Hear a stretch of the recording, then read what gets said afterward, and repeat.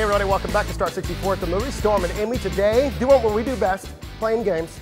GameWorks, that's where we are. 12, 12 years it's been here at Newport 11. I know this place is awesome. Not only do they have all the gaming, but then they have the restaurant, they have the bar. Come here with the family, and come here for date night, corporate parties even. You can have corporate parties here? Yes, you can. Wow, we'll talk about that on the way, plus all the games. All the games. See all these games. More coming up right here on Star 64. Totally gonna be you.